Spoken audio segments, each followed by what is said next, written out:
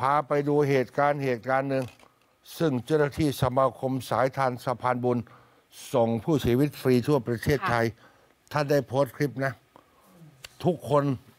ว่าเราจะได้เติมน้ำมันไหม ดูเถอะท่านผู้ชมเพราะอะไรเหรอ เพราะว่าขับรถเข้าไปเติมน้ำมันในขณะที่มีร่างผู้เสียชีวิตอยู่ท้ายรถค่ะ แล้วว้าวุ่นสิ พนักงานปั๊มก็เลยวาวุ่นเลยนะคะ เพราะว่าพนักงานปั๊มก็ก็กลัวค่ะ ว่ารถคันนี้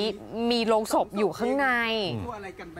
คือพนักงานตกใจรีบวิ่งหนี คนโพสต์ก็เลยตะโกนเรียกพนักงานปั๊มบอกมาเติมให้หน่อยอืมมาเติมก่อนปรากฏคือพนักงานไปหมดเลยใช่ไหมวิ่งหนีหมดเลยค่ะเองคันเนี้ยสรุปคือเติมน้ำมันกันเองนะคะแล้วกูจะเติมมันยังไงอะดูเด็กปั๊มวิ่งหนีดิ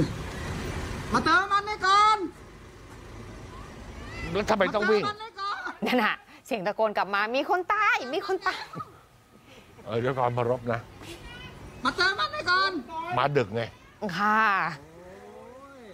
ก็คือจะไปส่งร่างที่ต่างจังหวัดนะคะ ก็ต้องแวะตัวเติอะไรมกันไปท่านผู้ชม